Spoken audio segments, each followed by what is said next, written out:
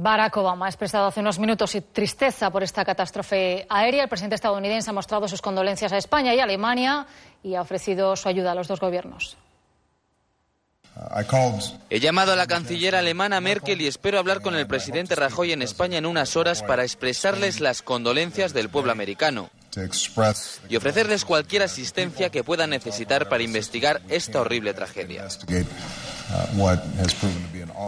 El año pasado casi dos millones de pasajeros utilizaron los aviones de Germanwings para llegar o para salir de España. La compañía de bajo coste de Lufthansa fue la aerolínea que más creció en número de viajeros aquí en nuestro país, casi un 70%. En su flota, sobre todo, los veteranos Airbus 320, el modelo que se ha estrellado hoy. Este es el Airbus 320 DAIPX, el aparato que se ha estrellado hoy. En esta imagen de hace unos años toma tierra en el aeropuerto de Heathrow y lo hace con la librea de Lufthansa, la compañía matriz de Germanwings. Wings. Esta low cost alemana comenzó a operar en 2002, pero no es hasta 2013 cuando la compañía inicia su despegue definitivo.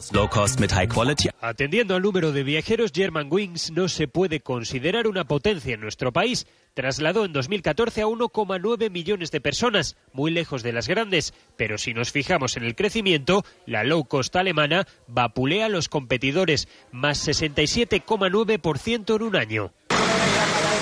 La aerolínea mantiene 62 aviones en su flota. Los A320 tienen una media de edad de 24 años, algo que según la empresa no supone un problema.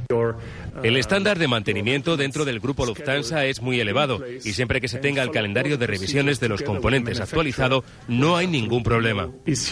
Precisamente el avión siniestrado pasó ayer por las manos de los técnicos en una revisión rutinaria. El último chequeo rutinario de los técnicos de Lufthansa se le hizo en Düsseldorf ayer.